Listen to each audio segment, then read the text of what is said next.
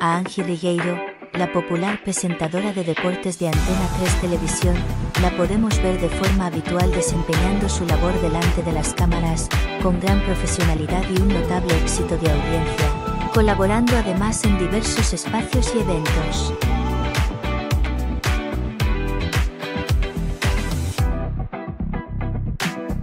Sin embargo, la comunicadora, siempre inquieta, innovadora y muy activa en redes sociales, también nos ofrece la oportunidad de descubrir lo que ocurre detrás de las cámaras, compartiendo en su Instagram vídeos de los momentos previos a su entrada en directo, en los que la podemos ver preparando sus intervenciones en esos instantes, siempre de cierta tensión y nerviosismo, además de ofrecernos planos 360 de la parte que no se suele ver de los platos.